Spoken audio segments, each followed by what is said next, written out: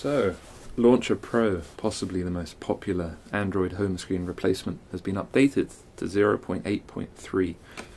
Um, it's not the big code rewrite that everyone's waiting for, but it does bring two rather exciting changes, or one exciting change and one kind of cool change. Uh, the first is the app drawer, draw, drawer, has been made more smooth. Don't know if this is exciting to you, but some people may find that mind blowing.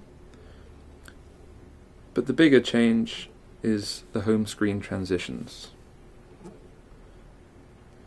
Apparently, this is a, a much asked for change.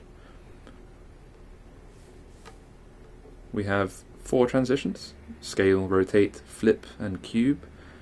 I've been looking at scale, but I haven't seen the other ones. Anyway, we'll start with scale.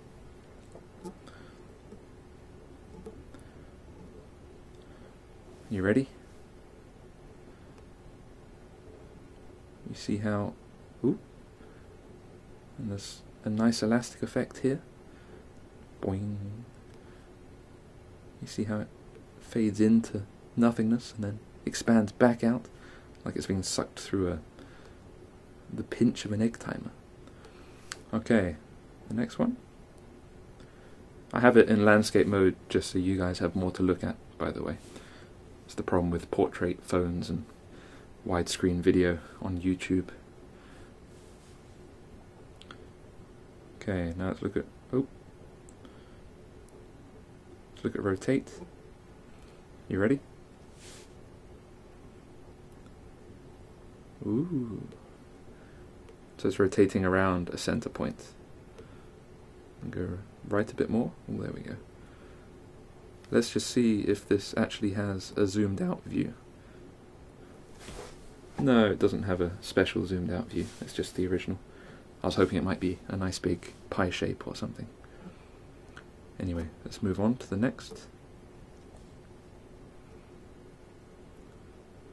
Now we have flip. Okay. So here it looks like we're inside a cube looking out. A bit like Minority Report, maybe? Very pretty. Do you like my new Nexus S, by the way? It is rather beautiful. Okay, and the last transition. Cube. I thought we were already in a cube on the previous one, but maybe this is different. There you go. Now we're outside the cube. Very similar, but okay. How many sides do you think this cube has? I, uh, I, I think it's meant to have what is it, six faces, but it only has four if you go around the outside. Yeah. So one, two, three, four, five, six. Hmm. So maybe it's not a cube. Maybe it's more of a what do you call it? A, a polygon. What's a three side? What's a three dimensional polygon?